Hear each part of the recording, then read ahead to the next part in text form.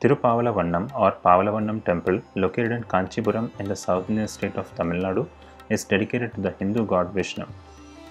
It is one of the 108 Divya Desham dedicated to Lord Vishnu who is worshipped as Pavalavannar Perumal and his consort Lakshmi as Pavalavalli.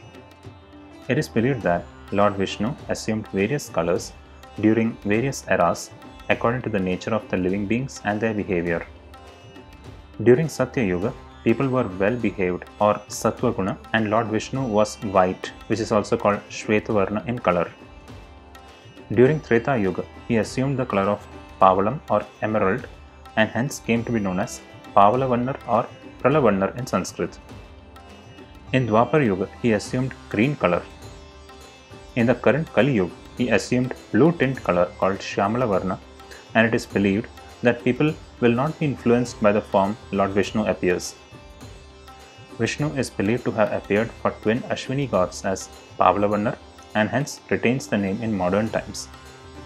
As per another legend, Saraswati, the goddess of knowledge in Hinduism, wanted to stop the penance of her husband, Lord Brahma. She sent an army of demons to attack him.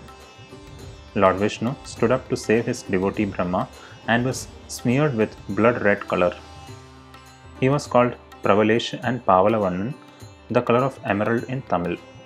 I hope you liked this video. I'll be making a new video on another temple next time. Thank you.